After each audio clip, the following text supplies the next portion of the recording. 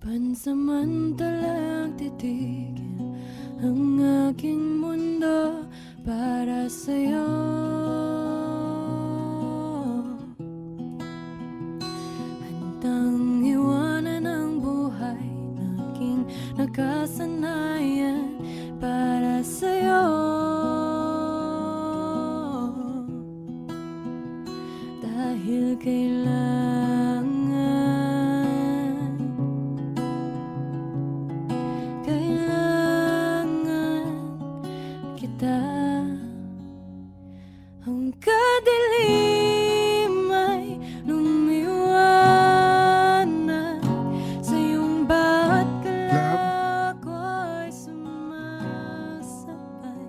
gitna, Hanggang siyam na taon natin pagsasama na mayroong pagod, lungkot at hirap. Nandito tayo nakatayo, nanunumpa, pag-iisang dibdib sa harap ng Diyos, pamilya at kaibigan. Patunay lang na mas pinipili na magmahalan sa lahat ng pagsubok. Ang sarap sa piling na ang babaeng nagpabagal sa ikot ng oras sa tuwing nakikita ko ay siya ring makakasama ko sa buong oras ng buhay ko. Halata nga na eh, friends dun sa mga kumuha eh. Parang nagbayad dun sa ano eh. Parang yung madami eh. Saan kasi nakatingin? Colorblind. Sarap mo ata. Susunod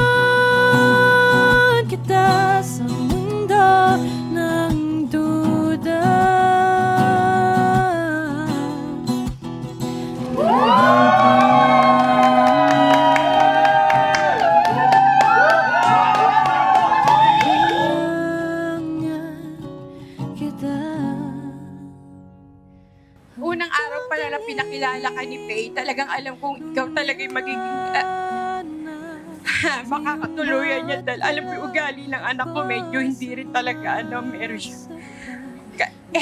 Para makatagal ka ng 9 years, eh, ikaw nga talaga yun. So, hindi, totoo lang talaga yun. Real talk lang talaga. problema, hindi natin maiwasan ang problema sa buong buhay natin. May darating na darating na problema. Sana malampasan nyo yun. Yan ang pagsubok sa inyo dalawa. Huwag kayo bibitaw.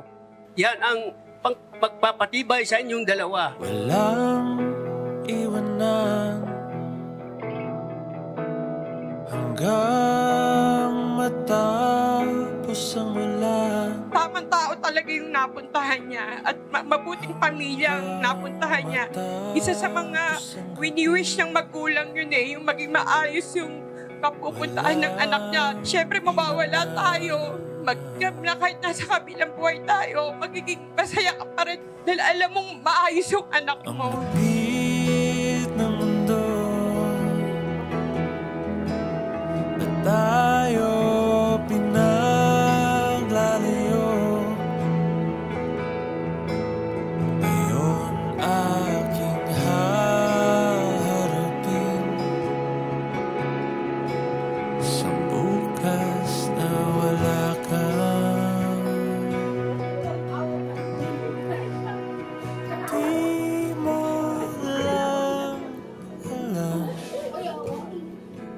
Una sa lahat, salamat sa special na araw na to. Kanya sa tagal nating magkasama sa loob ng siyam na taon. Pares tayo nag-grow as individual and as a partner. And sobrang thankful ako na nandyan ka at hindi ka sumuko. Walang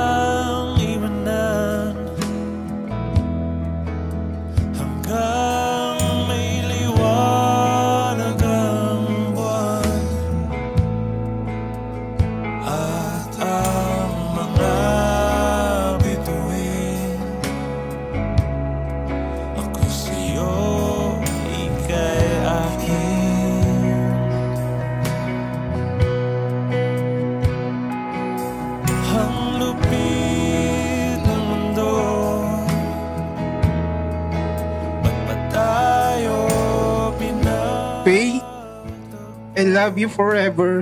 Hindi man ako perpekto, pero mapapangako ko sa iyo na nandito ako sa lahat ng oras mo. At bilang bagong haligi ng tahanan, ipapangako ko sa iyo ang proteksyon, ibay at pagmamahalan na walang hanggan. I love you so much.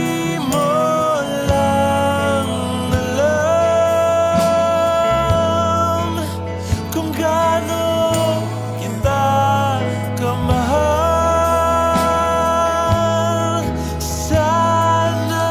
salamat sa lahat sa pagmamahal at pag-aalaga sa akin. Wala na sigurong masasarap sa pakiramdam na ma- makasama yung isang taong napakabuti na kagaya mo.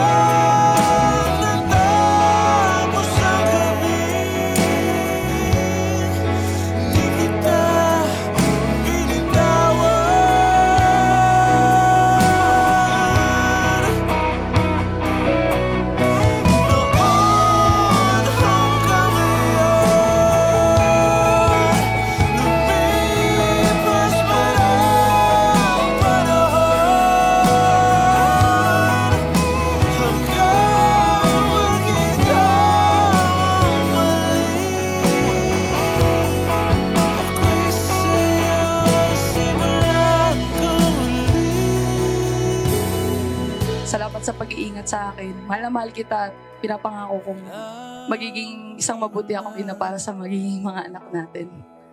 At maging asawa mo sa habang buhay. Mahal na mahal kita. I love you.